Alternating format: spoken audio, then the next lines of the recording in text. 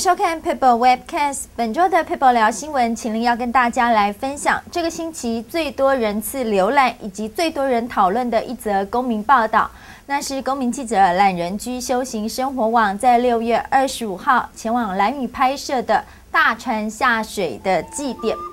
达悟族的大船下水祭典常常吸引国内外许多的摄影爱好者以及游客前往一游，共同感受祭典的震撼。因此，二十五号前后的船票跟飞机票早就已经是被预定一空。加上那几天有台风来搅局，打乱了整个交通的呃航次，因此前往蓝屿更是非常的不容易。不过，公民记者懒人居修行生活网还是靠着耐心的在台东机场等候补，补到了前往蓝屿的飞机票。因此，一场心愿可以在六月二十五号拍摄到达悟族的大船下水的祭典。并且他很快的在二十六号就把影片 PO 到 People 公民新闻平台上，跟很多人一起分享，他在他在蓝女所感受到的大船下水祭典的震撼跟感动。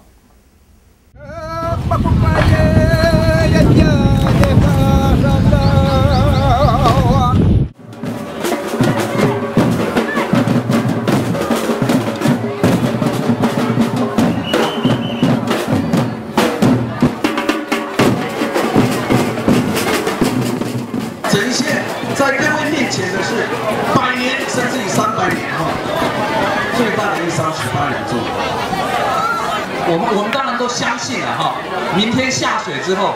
二十九号开始啊，我们相信我们的勇士们，我们打火的勇士们，都能够啊顺利的来完成这样的一个十八天的非常艰艰辛的这样的一个旅程。给我最震撼的是。那群一百多个人同时发出那种最原始、最淳朴、最单纯，当然是怒吼。这个就是在祭祖这个二零的这一个仪式，在大船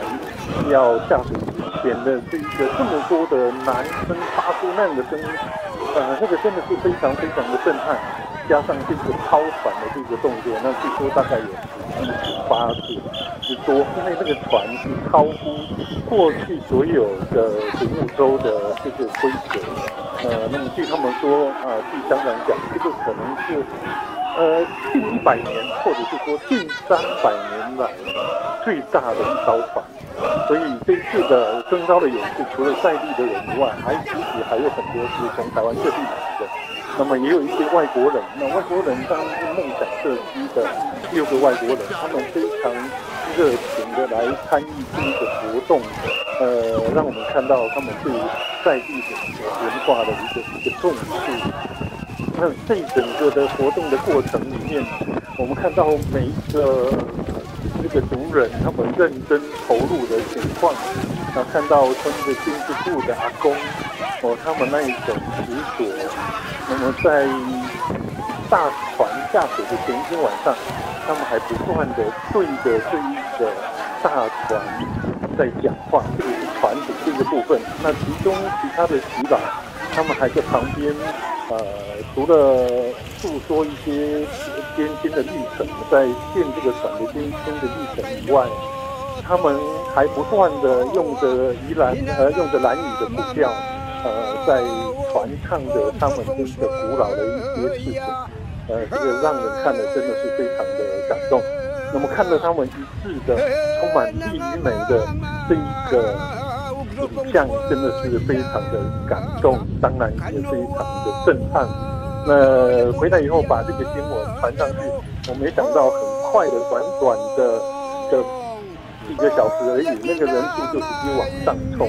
所以我想这个是对我来讲也是一个呃非常难得的一个经验。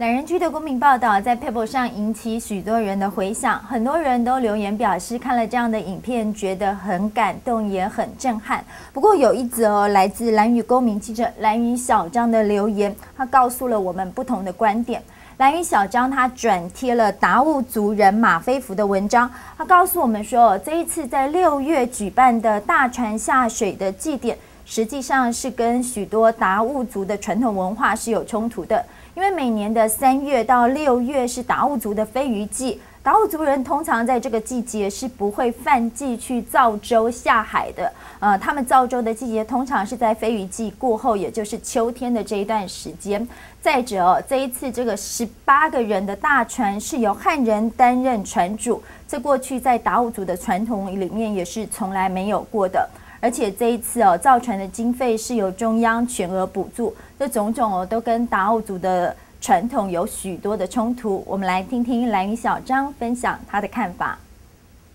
哎，其实这个这个事情应该从两个面向来讲哦。啊，第一个面向是从文化的面向来说啦，因为蓝屿的大船其实它算是一个跟社社会连接很深的一个一个算是一个活动哈，就是说从大船下水三年前就要开始。妇女要开始耕作芋头啊，然后准备一些下水该用的东西，然后，然后到伐木啊，所以种种的过程大概会耗时好几年这样子。那这一次他这一艘大船是由中央很多部部会共同出资的办这，算是举办了一条大船下水活动啊。所以这条船它在传统文化上的意义，其实它并没有历经像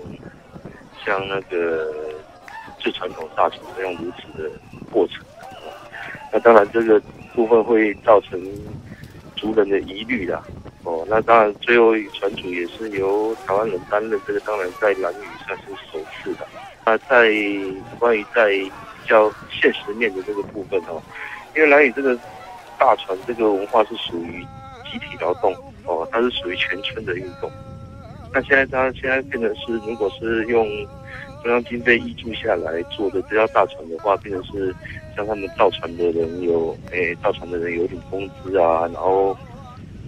然后或者是当天下水的时候划船的人也有领工资这样子，这样子变成是下来会变成造成应该算是族人的一个矛盾吧，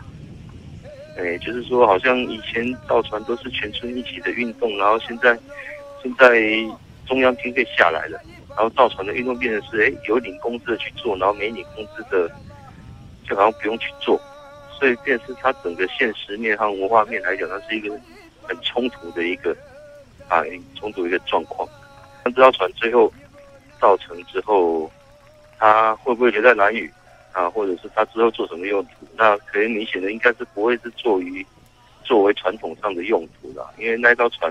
像传说是台湾人，也不会有人愿意去。划这条船去做所谓的传统的渔业捕鱼的活动，哦，所以说它整艘船的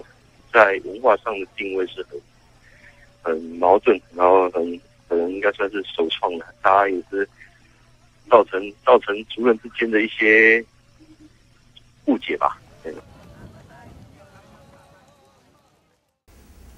大船下水的祭典是很多人对达悟族文化最鲜明的印象。不过这一次哦，我们透过在地观点的分享，让我们看到了这一次由中央补助的民国百年精彩一百的所造的这个十八个人的大船，跟蓝屿的传统文化有许多冲突的地方。那非常谢谢所有公民记者的分享，就因为有这样不同角度的分享跟看法，让我们可以从不同的面向来观察这整个世界，也可以听到不同的声音，而这就是 People 公民新闻平台最希望看到的多元跟对话。而这一艘十八个人的大船叫做拜访号。它从二十九号开始，还要从蓝屿呃航行到台北的淡水河，相信还会引起许多的讨论跟关注。我们也欢迎公民记者持续报道。而如果您对这个事情有任何的想法跟意见，也欢迎您上 People 公民新闻平台留言。People Webcast，我们下次见。